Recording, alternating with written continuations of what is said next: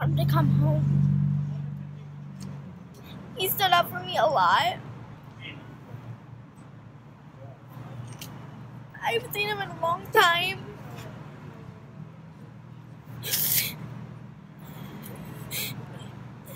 And I want him just to come home. I want to spend time with him. All the time I can with him.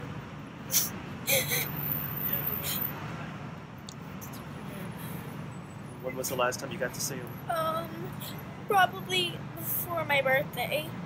Which was August. Uh, uh, nine. You're nine, but you've only seen him in prison. Yes. You went to visit him in prison? She went all the time. How was it to see him today? It was when I talked to him. He felt like I just needed to see him in person. That talking to him to a screen is not enough.